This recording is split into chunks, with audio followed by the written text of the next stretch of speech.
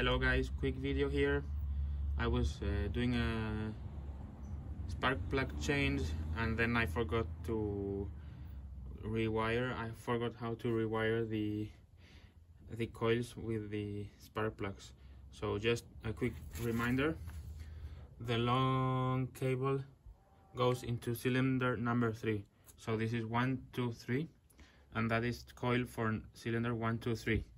So yeah that's it. So the long cable goes from the third one to this one. So you can see it is like slightly wind there. And the medium cable goes to the first cylinder and the short cable goes to the second cylinder. So that's it guys. It's quite simple but I forgot and I messed up and then the motorcycle wasn't starting. So yeah